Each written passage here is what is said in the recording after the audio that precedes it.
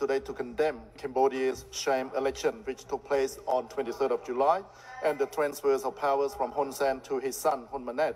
The sham election could be described as the least free and least fair in decades. The main opposition party and the only credible challengers uh, to the ruling party uh, was barred from contesting the election.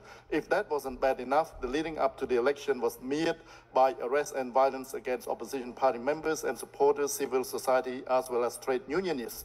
This is history repeating. Rewinding to the last election in 2018, when the CPP won every single seat in the National Assembly after the main opposition party was dissolved and its leader, Mr. Kem Sokha, sentenced to 27 years in jail.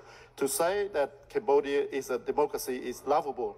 The country was promised so much under the Paris Peace Accord in 1991, pluralist democracy, free and fair elections, human rights for all.